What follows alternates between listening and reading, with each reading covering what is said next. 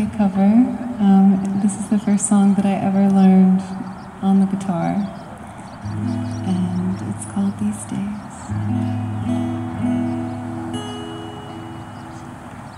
Days.